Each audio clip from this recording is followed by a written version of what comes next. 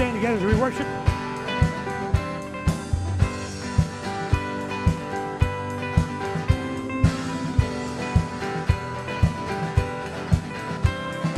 Come, let us worship our King.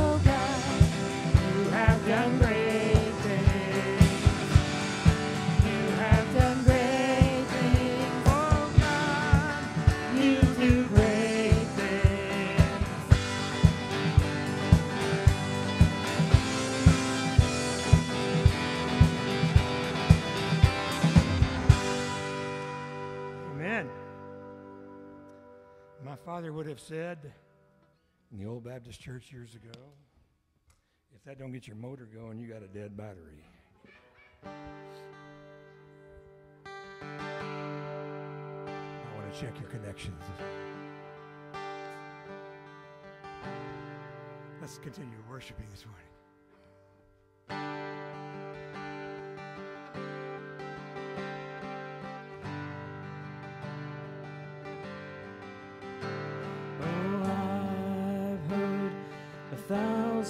stories are what they think you're like.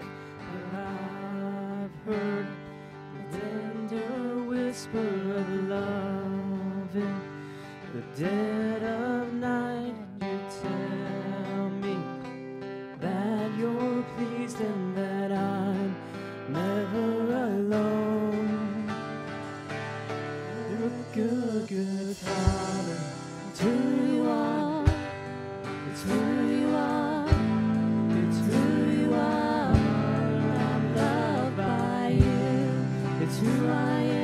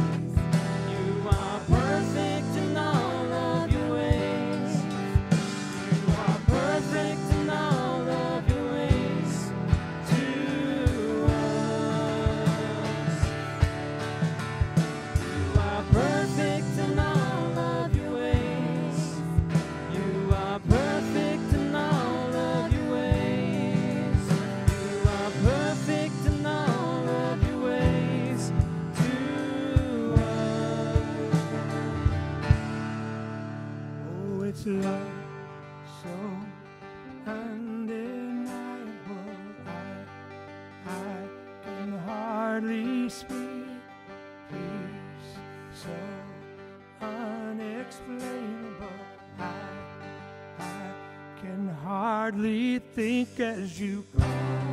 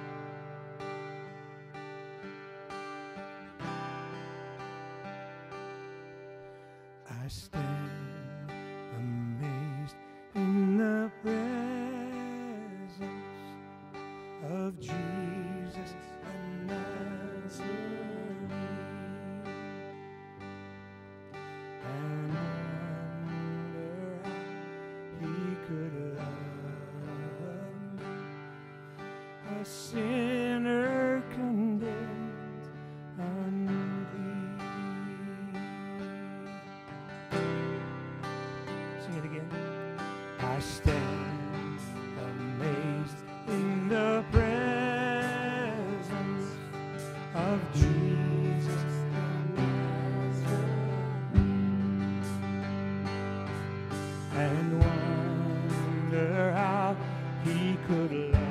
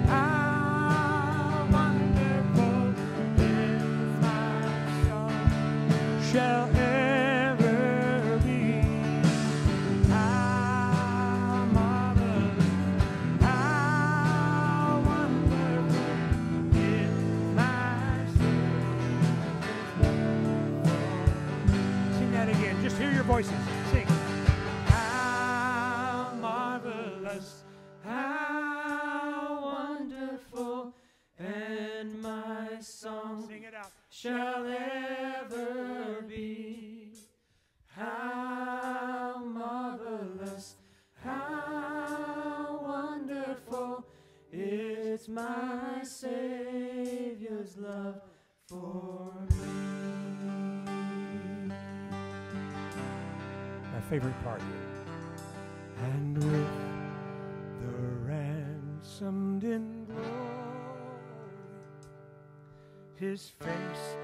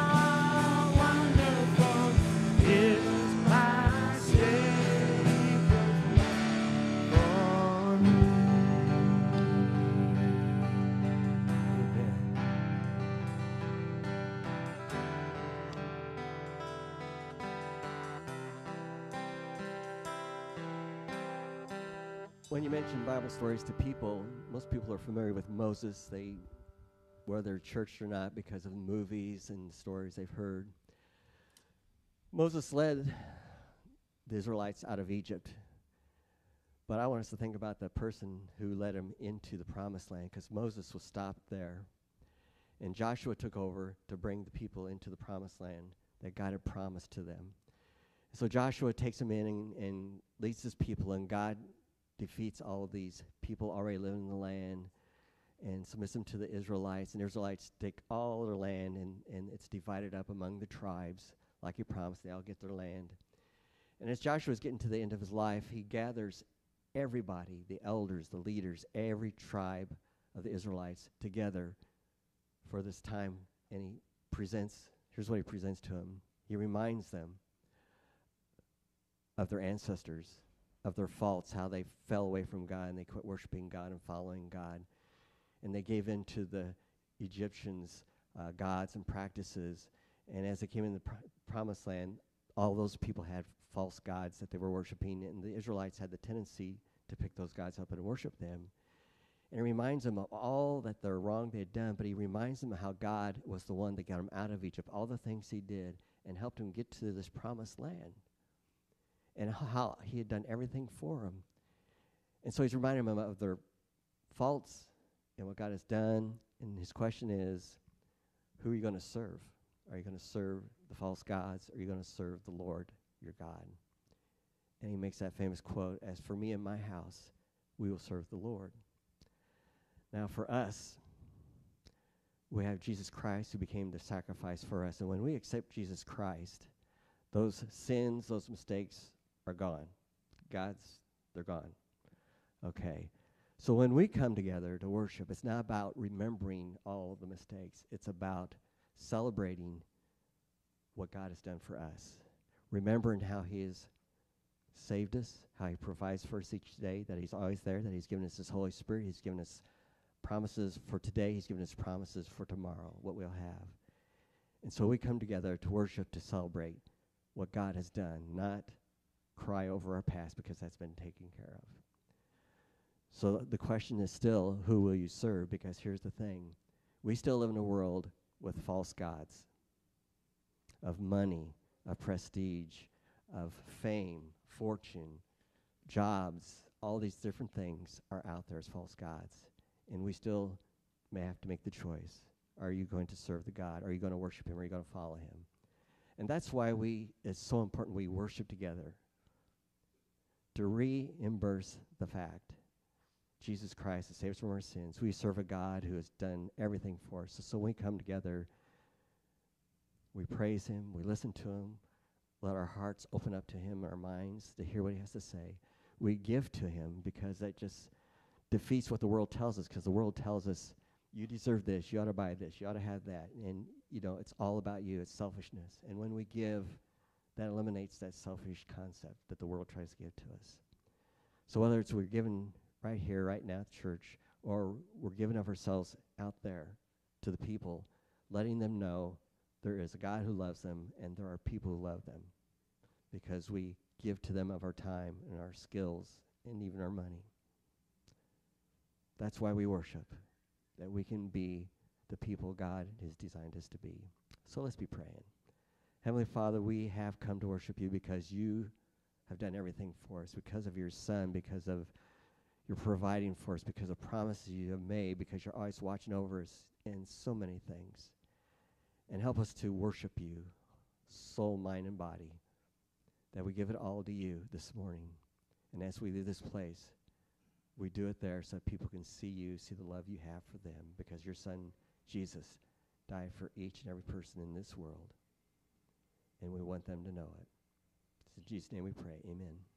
Amen. Amen. Good morning, church. Glad to have you here with us this morning. Those watching online, thanks for joining. And uh, before I dive in, just again, a reminder uh, or to let you know, and maybe you hadn't heard, if you're sitting there thinking, huh, I wonder where I want to go eat today for lunch. Where should we go out and have lunch today with it? We've solved that problem for you because today is the Youth Spaghetti Bake fundraiser, and you're all invited after service to go on in the gym and to participate.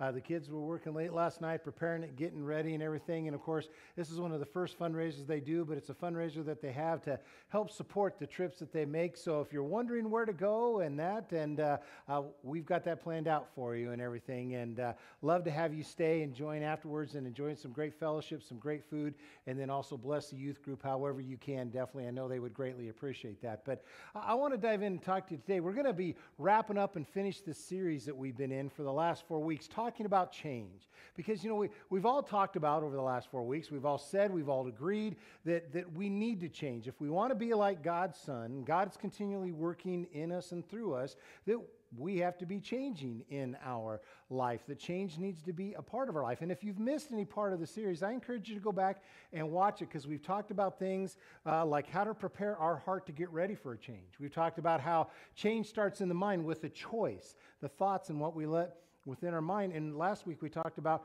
how to make those hard changes in our life. And, and, and changes, changes come in many different ways, and, and that, you know, they can be very, very tiny little changes all the way to, to what I've heard called radical changes within our life. And I was kind of thinking about this, uh, how to illustrate that. It's like, you know, it's, if, if you remember in my day growing up, they had the Apollo missions to the moon and you know they'd send them to go up to the moon and everything. And i was looking and i was researching about you know how the astronauts what they would do to what it would take to get them up there in those apollo crafts to go up there to complete their mission to get back. And i was reading about apollo 11 and apollo 12 and in apollo 11 they had to make a thousand and one course changes to get them from earth to the moon so they could do what they needed to do on the moon and then get back to Earth safely. And Apollo 12 was just a little less than that, but they had to make these little minor course changes. But then, if you're familiar with Apollo 13, you know, if you've read the book, seen the movie, it was completely different for them and their changes. As they were going up there, there was this explosion, and they weren't able to land on the moon, complete that mission. They had to radically change what they were going to do.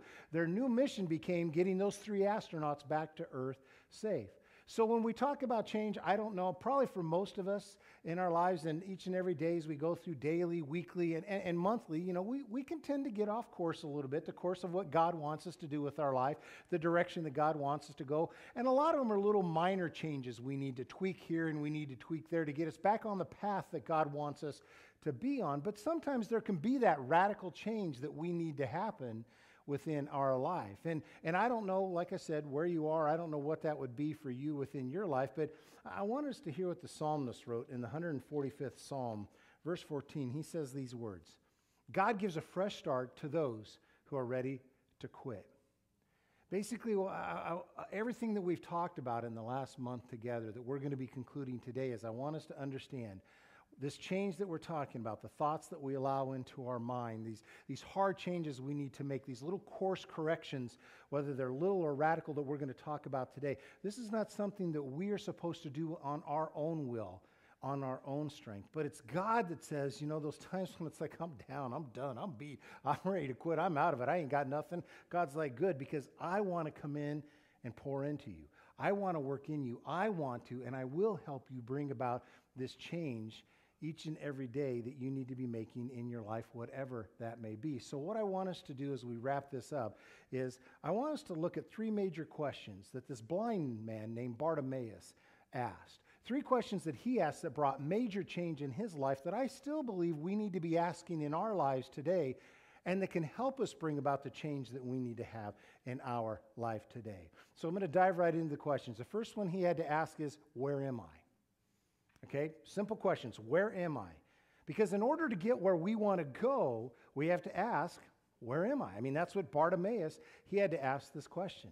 And, and we're going to be reading in the Gospel of Mark here in just a second, but to kind of set the background of what's happening, there's this massive celebration that's going on. People are celebrating, having a wonderful time in the town of Jericho where Bartimaeus is, because Jericho is one of the major cities that many people travel through to get to Jerusalem. And that's what's happening because there's a time called the Passover that's coming up in the Jewish tradition, so their biggest celebration.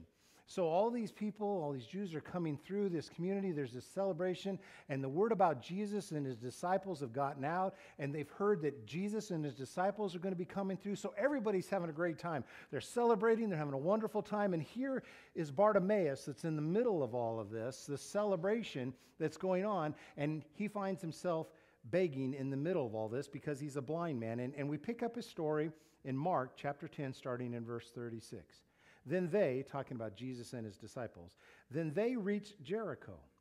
And as Jesus and the disciples left town, a large crowd followed him. A blind beggar named Bartimaeus, son of Timaeus, was sitting beside the road. He's just sitting there, okay? And he's sitting there begging because, well, when you're blind, that's what you have to do, you know, to make sure you make it through the other day. And here's, I mean, he can't miss this opportunity. There are more people coming through this time of year than normal, so he has a better chance of getting more money. So he finds himself begging on the side of the road. So we see in Mark 10 46, he's at the beginning, he's at the side of the road begging. But as we go through this lesson today, we're going to see that in just a few short verses down, he's no longer sitting on the side of the road, but he's following Jesus on that same road. So he's at that beginning. He's asking that question Where am I?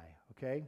It's almost a picture like his life is getting sidelined here, if you will. Mean, it's like, this isn't where I wanted my life to be. This isn't where I wanted my life to go. This isn't how I thought my life would go. Me having to sit on the side of the road, beg for people just so I could make it through the day to another day to get up so I could beg people more and get, you know, and, and maybe you felt that way, you know, you found yourself sidelined, or maybe you feel that way today. I don't know, that my life is not where I want it to be. Um, this isn't what I thought my life would be, or it's not going in a direction that I thought. And you kind of feel a little bit sidelined. And so you have to ask yourself, where am I? Basically, you got to look at the map, you know, and say, where am I on the map? You know, have you ever looked at those maps? You've been traveling or whatever, and you'll see something like this. You are here. Okay, that little red dot you see on that map before you, in case you didn't know, that's where you are right now today. That's WCC, okay? That's where you have yourself sitting here today. And, and you have to look at this map to see where you are. And maps will point out this is where you are, so you know, okay, this is my starting point, it's where I'm at, and I know where to go. But a lot of the times we do not like to look at the map, or we just refuse to look at the map for different reasons. I think sometimes we refuse to look at the map and we don't want to look at the map because basically today we're just too busy.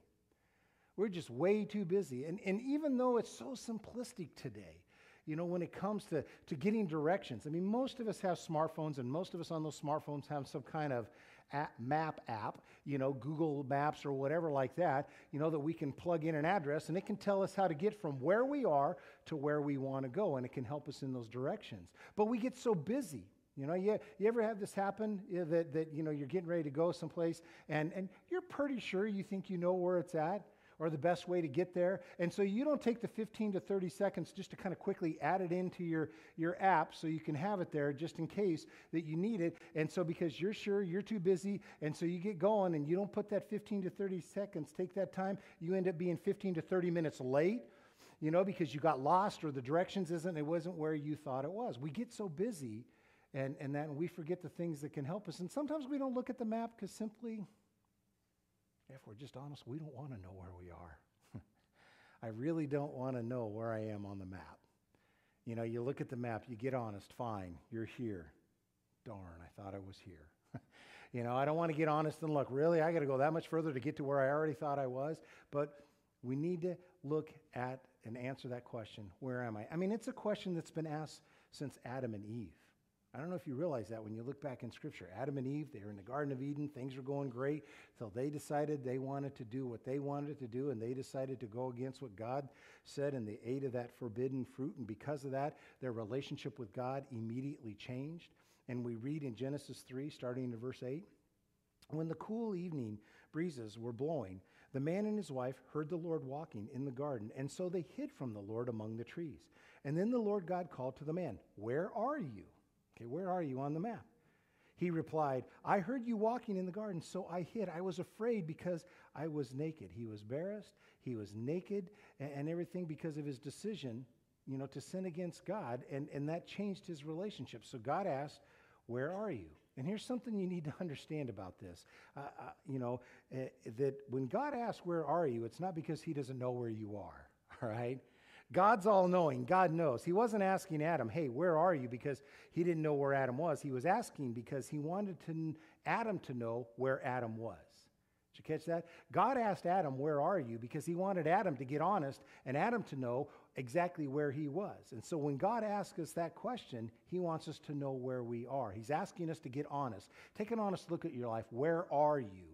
I already know where you're at, God says, but where are you? Take an honest look in that. And, and, you know, if you find yourself saying, well, I'm hiding from God, that's a good sign you need a change, okay? It's a good sign. Well, I don't, you know, I'm going to hide from God or whatever. I don't want to, you know, have this relationship with God or I'm not sure where I am, whatever. So I'm just going to hide, whatever. If you're hiding from God, that's a good sign you need a change because we are not made to hide. God has made us to live in a relationship. God has made us to live in a connection, connection with Him and a connection with others. The problem is we are experts at hiding. Are we not? We are experts at hiding. We hide from our past through denial. We just deny it. You know, I'm not going to look at the maps here, Ad. I'm just going to deny it. We hide, you know, from others through distancing. Well, if I don't let them into my life, I don't have to deal with the problems. I don't have to deal with the situation. So I'll just distance myself from my family and my, whatever, these people. Then I don't have to deal with this. We hide from ourselves through distractions. As long as I keep myself busy, I'll never have to face what I'm going through. I just distract myself with all this other stuff, and we hide from God through doubt. Did God really say that? Is that really what God believes and God wants me to do?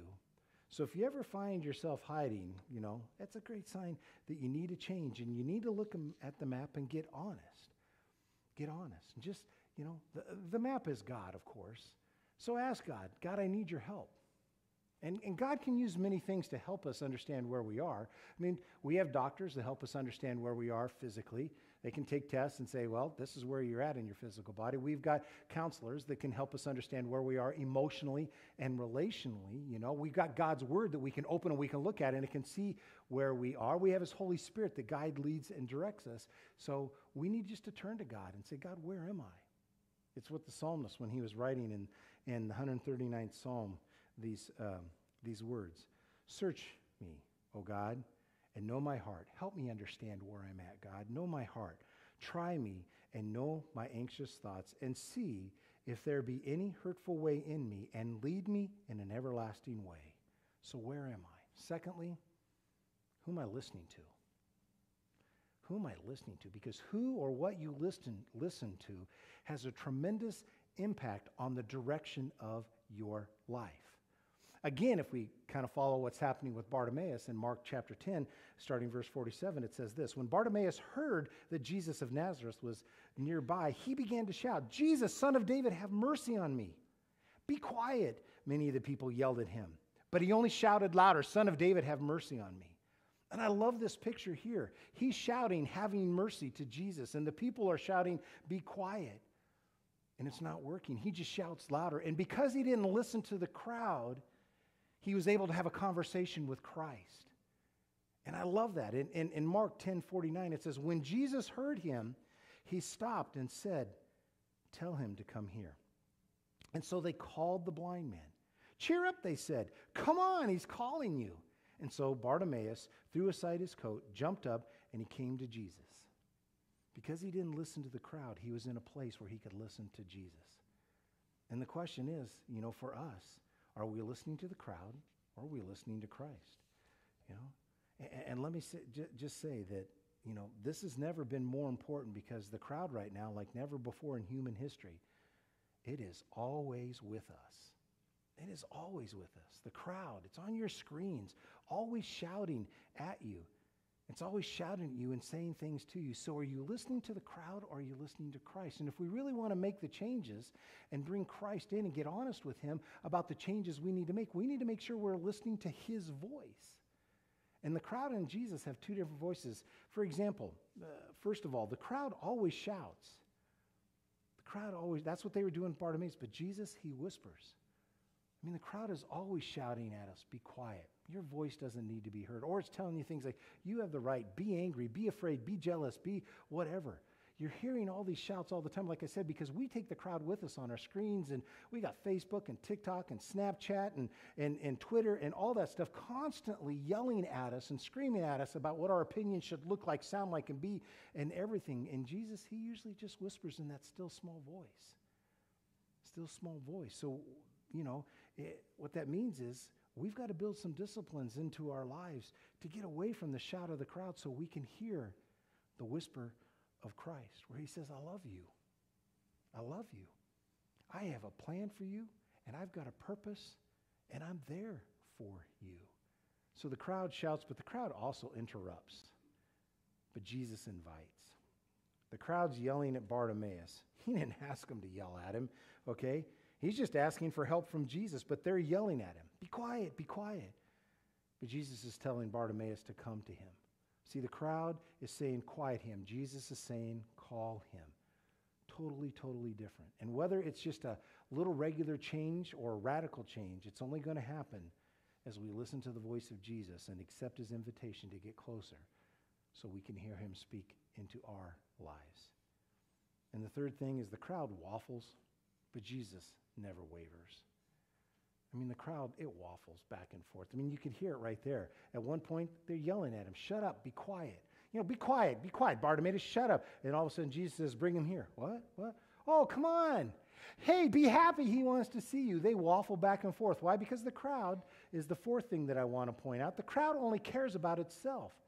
The crowd's only concerned about the people. I mean, they're yelling at Bartimaeus to shut up because you're ruining our celebration. Look what you're doing to me. This is my, you're ruining my time, da da da da, me, myself, and I. And that's what they're focused on. And then they waffle back over here when they think they can impress this people. What do people think? What are people going to say? And the crowd only cares about itself.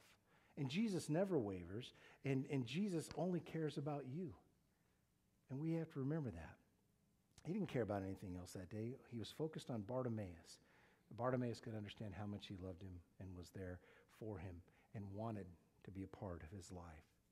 So we ask those questions, you know, so we can listen to Jesus and let the promise of his hope drown out the pressure of the crowd. We ask, Where am I? Who am I listening to? And thirdly, what do I want? What do I want? Simple questions, but I think this one here, this last one might be the most important question for change because if you don't ask it, if I don't ask it, if you don't ask it, we're probably going to stay stuck where we are. And Jesus asked this question to Bartimaeus, okay? And, Mark, continuing in Mark there, chapter 10, verse 51. What do you want me to do for you? Jesus asked. My rabbi, the blind man said, I want to see. And Jesus said to him, Go, for your faith has healed you. Instantly, the man could see, and he followed Jesus down the road. So the change is complete. We started off, like I said, in verse 46. There he is, a beggar on the side of the road, begging. And then he encounters Christ. And he gets honest with Christ and asks himself some questions and everything. And now he finds himself walking down that exact same road as a disciple of Jesus that's there. And we need to do that same thing. Be honest and ask and answer. You know, be, be, be honest to ask God, to go to the map, to talk to God, but get honest with our answers. And you say, but but what if when it comes to this, what if what I say, you know, you know, when I say in that moment when Jesus says, What do you want me to do for you? What if what I ask him isn't good for me? Probably most of what we ask Jesus to do for us is not really what Jesus wants to do and probably isn't good for us, okay? But we also have to then trust that Jesus, He's not going to give us everything. This isn't, I'm sorry, this isn't Bruce Almighty.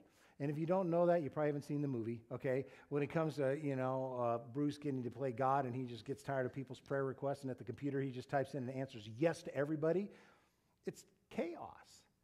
You know, and, and, and God's not going to give an answer. I mean, you know, I've been talking about sports. You know, we're getting ready for Super Bowl. You got teams that are playing this weekend that want to be in the Super Bowl. You have people that support those teams that are praying that they can win. Not all the teams are going to win. Somebody's going to lose. Somebody's not going to get that prayer. God, help me win today. Somebody's going to get a no to that and I, I don't believe it's going to come from God, but somebody's going to get, you know, not what they want. And again, if we're honest, and a lot of the things that we think we want, a lot of the things we turn to God and ask, if you if you look back, have any of you ever done this? Look back maybe two, five, ten, maybe 15 years ago, and you're like, oh, thank God I didn't get that. You ever done that? It's like, oh, I am so thankful God didn't answer that prayer and actually give me that. I thought I wanted that. Now I look back, ooh, hindsight's 2020. I praise God I don't have that within my life. Because a lot of the things we ask for at the time, we don't understand. We think we want it, but we're no different than James and John. I mean, right before this whole Bartimaeus is a story of two guys who thought they knew what they wanted. So they came and Jesus said, What do you want me to do for you? And well, here, let's read it. Mark 10 36. Jesus asked them the same question What do you want me to do for you? And they replied, Let one of us sit at your right and the other at your left in glory. These guys went all out. all right, they didn't hold back. We want to sit on your throne forever in eternity with you. And Jesus said, You don't know what you're asking. Can you drink the cup I drink or be baptized with the baptism I'm baptized with? He's saying, Look at you think this is what you want, but you have no idea what you're asking. Do you think you can actually handle? And I bet you, in hindsight, you know, several. I bet you they're pretty thankful that they didn't get with Jesus and have to go through the pain and suffering that he did, because there's no way they could handle. It. They thought they knew what they wanted, but it wasn't there. So you say, well, what do I? How do I answer that? What do you want me to do? Do I just say, Jesus, just do whatever you want? you know what's best for me. Just go ahead and do whatever you want. I think if we want change in our life if you want to live by faith in your life, I, I want to encourage you instead to sit in a relationship with Jesus and just tell him what you want, okay? Because you're telling him what you want, not just to get what you want, but also to hear what he wants in your life. And the only way you're going to hear what he wants in your life is just to tell him. You know, tell him what you want, what you really, really want. You know, I can go on and sing that, you know, but I won't because I love you. All right?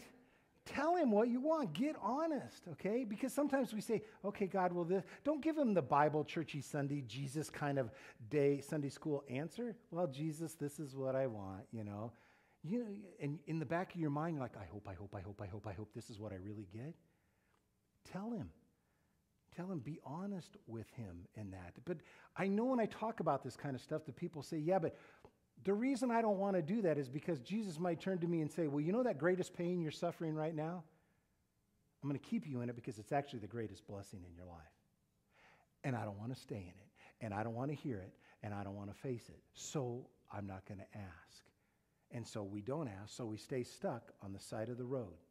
Stuck right there, sitting sideline, blind to what God wants to do and can do through our life. And to be honest, I don't know the answer for you, but I do know that if we're going to find a change in our life, if we're going to allow God to bring in the change that He wants to bring into our life, that brings that hope and that peace and that joy that we're talking about here, you've got to have this conversation, this honest to God conversation with Him. This is what I really want. Bring it from the back of your mind. You know it's there, you know what it is. God already knows. Bring it to the back of your mind and you say, This is what I want you to do, God. Get honest. I mean, if Bartimaeus had not told Jesus what he really wanted, he would have not have been healed. If James and John hadn't told Jesus what they really wanted, they never would have seen their selfishness and their request, and they never would have been able to take that step of growth within their life. So be honest. 1 Corinthians 1:30, remember? It says, same as the what trying to encourage us what the psalmist said that I read at the beginning. Everything we have right thinking, right living, a clean slate, and a fresh start comes from God by the way of Jesus Christ. So, this isn't on your own strength. This change is not on your own power. It's us getting honest with God and us talking with Him and saying, God, help me to see where I'm at. Get honest. Look at the map. You are here. Okay, I'm here. Now, where do I want to go? God, where do you want me to go now? This is where I'm at. But I know you don't want me to stay here, God, because you're continually working each and every day so I can be more like your son, Jesus. I'm thankful for that. But, but where do you want me to go from here, God? What's that going to look like? Who am I listening to, God? Am I listening to the word or am I listening to the world? Am I, am I hearing the shouts of the crowd or am I listening to the whisper of your son, Christ? And God, this is what I want you to do. This is what I want you to do, right or wrong. Just come before him and get honest because his promise is when we do that, that's when we see him work in our lives. And this is what I think the church, the Big C church, not just us, but the Big C church has missed out on so much today and have forgotten today. That there is a God, yes, that loves us. That there is a God that's willing to be there for us. Absolutely. But there is a God that will work in our lives in ways we can never, ever imagine when we just get honest and answer these questions and are willing to, to, to make these changes. See, we're going to come before these elements here in the morning, co- morning and in a moment. We're going to come up here, we're going to grab these two cups and come back to our seat. And we're going to remember and give thanks and celebrate for that radical love of God's Son, Jesus Christ, dying on the cross, making a way that we can bring the greatest change in our life bringing him into our life, making him Lord and Savior of our life. Uh, uh, you know, we're going to come and give thanks. And as the worship team gets ready to come up and lead us in that, I want to share one last story with you. I don't know if any of you have ever heard of a gentleman called the Great Blasphemer. The Great Blasphemer was born all the way back in 1725.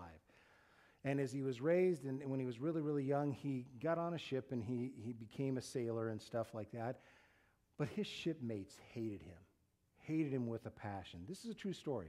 He was wild, he was a raging drunk, he was violent, and, and he got his name, you know, the great blasphemer because of the language and all that kind of stuff. I mean, you've heard that phrase, he cusses like a sailor. He embarrassed the sailors, okay, with his language. I mean, in, in, in his captain's journal, Okay, this is what the captain wrote about the great blasphemer in his journal. He says, Not only did he use the worst language I've ever heard, but he created new words that exceeded the limits of verbal debauchery. I mean, that's taken it to a new level. I mean, once the great blasphemer, he fell over the edge of the ship. They didn't throw him a lifeline. His shipmates threw spears at him to try to kill him as he was in the water. That's how hated he was. No one wanted to be around him. He was an awful person. There was one person that would kind of use the, the friend word that was there with him. But, but his captain one day finally had enough of it and took him and, and brought him before everybody and had him flogged. You know, stripped his back and had him flogged and whipped in front of everybody, and he hated and despised his captain. So he wrote in his own journal that he was going to kill the captain and take his life because life wasn't worth it, you know, and he hated everything, he hated everyone, and he was the great blasphemer. But before he had the opportunity to make this happen, this big storm arose, and they were battling this storm, him and his shipmates, for days battling the storm. All of them didn't think they were going to make it. The one person that I said that thought that was kind of like his friend actually got washed over. They never ever saw him again. They never thought. And, and, and in the midst of this storm, as he's there, he's realizing, I am where I do not want to be. This is where it is on the map, and I don't like where I am on the map. And I got here because of why. And he started thinking about his life, and he started thinking about how his mom, when he was raised, read him all this scripture and prayed for him and prayed scripture for him. His mom wanted him to be a pastor and grow and be a preacher. You know, he grew up the great blasphemer. You know, and he started thinking about all this and realizing all this, and he cried out to the grace of God. You know, God, what do you want? I want your grace, God. I got to get honest. I don't like where I'm at. I know I need to change and go. God, fill me with your grace. And they made it through the, after several days, they made it through the storm and he gets back. And he starts rereading the scripture because he realized in the midst of this turmoil of his life, in this worst point, he actually cried out to God. Someone he had blasphemed, didn't believe in, could care less about before, but now all of a sudden his eyes were open. And at one point he did, and he cried. So he started reading scripture and, that, and he gave his life to Christ and surrendered his life to Christ. Talk about a radical change. He's known as John Newton. If any of you have heard of John Newton, John Newton is the one in 1772 that wrote the hymn that we now know called Amazing Grace. The great blasphemer, Amazing Grace. How sweet the sound that saved a great blasphemer like me, that saved a wretch like me. I once was lost. I didn't know where I was. I didn't care where I was. But now I'm found because I got honest with you, God. I got honest with you and I answered those questions and I realized where I was isn't what I wanted to be. I was blind, but now I see. 'Twas grace that taught my heart to fear, and grace my fears relieved. How precious did that grace appear the hour I first believed. Like I said, we're going to come before these elements here this morning. And I want to encourage you as we remember and give thanks and celebrate for the love of Christ to take some time and let God's Holy Spirit just speak. You know, have you gotten, you know, honest with Him? I don't know what kind of change, you know. I mean, one of the most radical changes can make us accepting Christ as our Lord and Savior, bringing Him in and making Him, you know, Lord of everything. That's definitely one of the most radical in this day and age changes that we can make for our life. And maybe you've done that, but you've listened to the crowd screaming and you've kind of walked away and, and you haven't heard the whisper of Jesus saying, Remember, I love you. Remember, I have a purpose for it, and you've forgotten you need to reconnect. I don't know what that is. Maybe you just want to talk and pray with somebody. I don't know. But as you come forward and you partake of these elements, you take them back to your seat. And as we're singing and stuff, I'll be up front here. Um, if you want to pray with someone, talk with someone, come on up. And if someone's with me, keep coming. We have other leadership here that would love to do that with you. But let's go before Him right now and give Him thanks and praise. Father, we do thank you and praise you so much for your Son, Jesus, and what that means for us. We thank you that you didn't just leave us alone, as we say all the time, Heavenly Father, but you're willing to be there to help us, to make those little course corrections and even the radical course corrections we need within our life so we can be the men and women of God that you have called and created and asked us to be. I thank you, Father, for being that kind of God that loves us that way. Lord, and as we just come now, Father, I pray that your Holy Spirit will speak to our hearts. Help us to see, Father. Uh, have we gotten honest with you? Do we know where we're at? Do we know where you want us to go? Do we, are we just being honest with you, Father? Help us to do that now. May your Spirit speak to our hearts, and Lord, and help us to see those changes we need to make. But again, Father, during this time, we thank you and we praise you and thank you that we can celebrate this in Christ's name. Amen.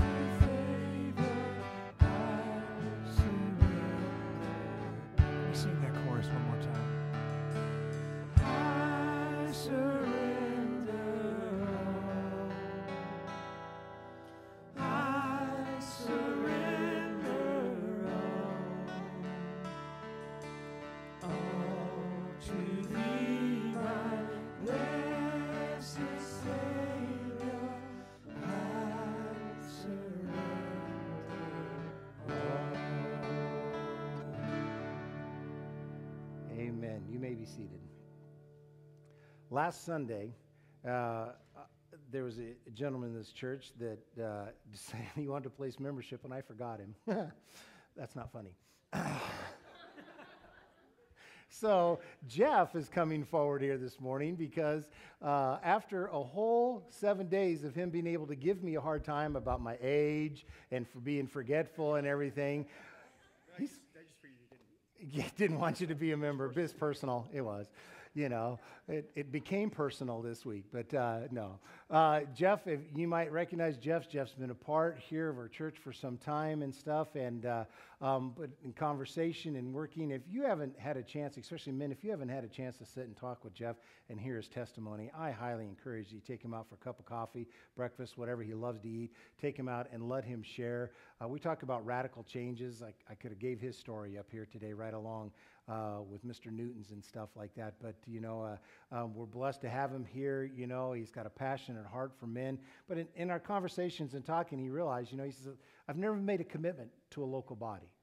He's given his life to Christ, surrendered to Christ, and baptized in all, all, all of that aspect, but he's never come in and said, you know what, I, I want to use my gift, talents, and ability and partner with and, and stand before and say, look, at I, I want to be a part of this WCC family. I want to be a member here.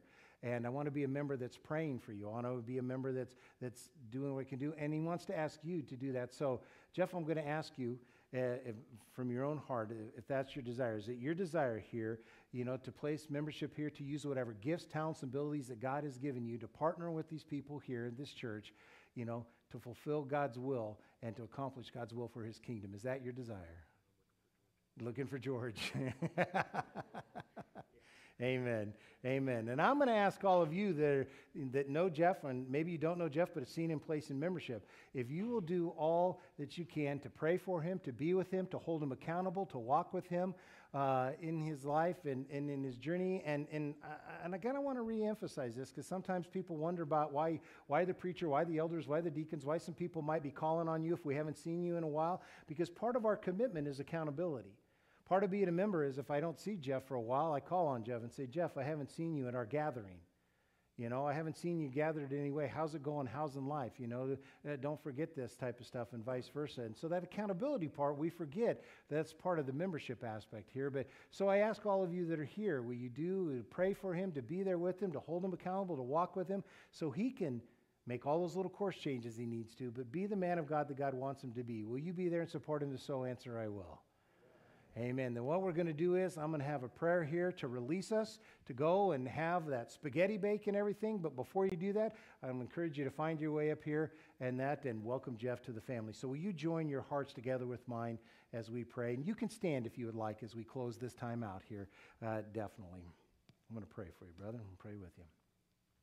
Father, I do thank you for Jeff, and I thank you for his life and his commitment that he's made to you. And I thank you, Father God, for the changes you've made in his heart and his life and how you've been there. I thank you that you've brought him here to this family, Lord, and, and, and bring him here to partner with be looking at accomplishing your will, Lord, in, in, in, in his life and in the life of this church. And, and Father, I pray for wisdom to fill him, Lord to fill him, to help him understand of how to use those gifts, talents, and ability to partner with us, to fill us with wisdom, to know how to be there to encourage and, and to spur him on, Heavenly Father, so we can be about your will here on earth as it is in heaven. I thank you for this t- day. I thank you for this time. And Father God, I thank you for the great things that you have and are going to be doing through us. It's in Jesus Christ's name we pray. And God's people said, Amen. Amen. God bless everybody.